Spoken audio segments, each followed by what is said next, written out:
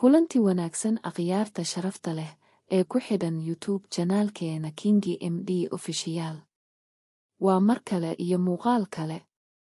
Muuqaalkeennu maanta waxa uu ku saabsan yahay sidee lagu gartaa gabadha marka ee nin u baahan tahay? Waa su'aal isweydiin mudan loona heli karo jawaab.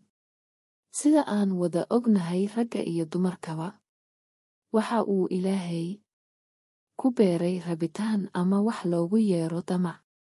Inkasta oo aan ragga ka soo hadli doonno iyagana haddana haddii aan sii raacno mawduuca muuqaalkeena maanta. Dumarku si la mid ah waxa ay leeyihiin damac iyo rabitaan la xidhiira ragga waxa ay sidoo kalena leeyihiin wakhti ku habboon damacooda ee rabitaanka ragga. Haddaba yaan war idinku daaline haddii aan guda galno muuqaalkeena maanta waxaa jira dumar fara badan oo muuqaalkan daawan doona. Waxaan ka codsan lahaa inay kommenti ka soo bixiyaan haddii ay isku arkaan qodobada aan halkan idinkula wadaagi doono.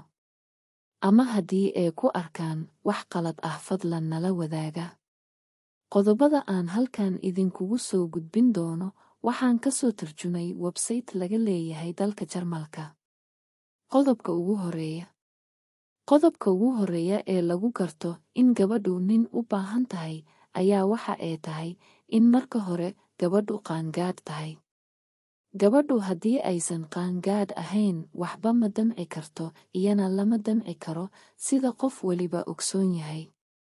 Sidaa darteed qodobadan ma hirgeli karaan haddii gabadhu yar tahay ama ee ka hooseyso xilliga qaangaadhka markaas oo gabadhu isku aragto astaamo lagu garan karo in ay nin rabto. Qodobkeena xiga ee labaad. Qodobkeena labaad waxa uu yahay gabadhu waxa ay dareentaa xishood fara badan oo dhanka ragga ah. Tusaale waxa ay ka xishootaa in ay ragga la hadasho ama u soo dhowaadaan taas oo ah calaamad cad oo lagu garto in gabadhaas ay rabto nin ka saara cabsida ee dareemayso ee dhanka ragga ah waxaana ninka hela gabadhaas looga baahan yahay in uu si tartiib ah u hasaawiyo isaga oo aan qiyaamayn kana cabsiinayn gabadhaas haddii kale. Taasi waxay sababi kartaa in gabadha yar ee ka cararto ragga oo dhan sabab aa adiga leedahay darteed maadaama aad si xun ula dhaqantay miskiintaas yar wiilow qodobkeena saddexaad. Waa isla weyni been ah. Qodobkeena xiga waxa uu yahay isla weyni ee dareemaan dumarka markay ku jiraan xaaladan.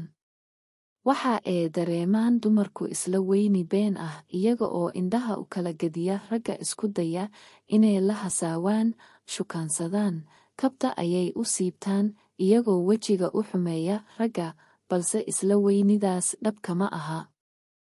Waana marka ugu fiican oo dumarku ee nin raadiska yihiin waxaana la idinkaga baahan yahay ragow inaad fahantaan dumarka yaryar ee gaadhay xilliga nin raadiska. Ha ka xanaaqina markay sidaa u dhaqmayaan balse isku daya inaa aad ugu dhowaataan hasaawisaan meelo badana aa wax ka tustaan. Qodobka afaraad. Qodobkeena afaraad waxa uu noqonayaa gabadhu waxa ay dareentaa cabsi cabsi.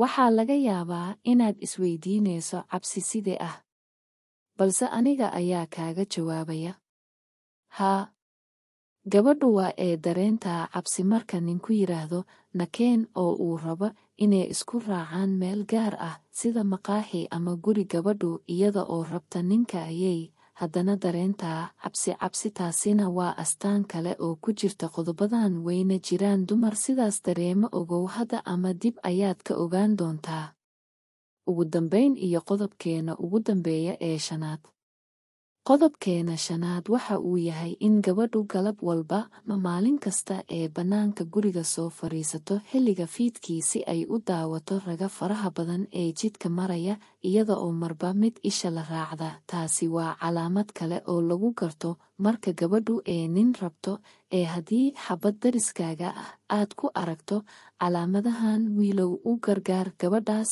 naf waaye waxaan mar weliba aragnaa dumar fara badan oo ku jira xilliga qaangaadhnimada oo aan ku aragno calaamadahan aan idiin soo sheegnay. Haddaba ugu dambayn waxaan dumarkeena qiimaha badan kula talin lahaa in ay joojiyaan isqiimaynta aan macnaha lahayn.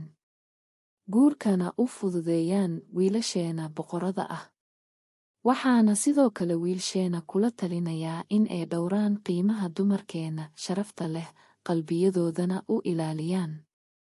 Intaas ayuu ku eg yahay muuqaalkeenii maanta. Haddii aad ka heshay fadlan layg gareey astaamaha lagu garto wiilasha marka ay dumarka u baahan yihiin iyagana waan ka soo hadli doonaa. Haddii aad danaynayso kommentiga ku soo qor waan ka soo hadli doonaa insha allah.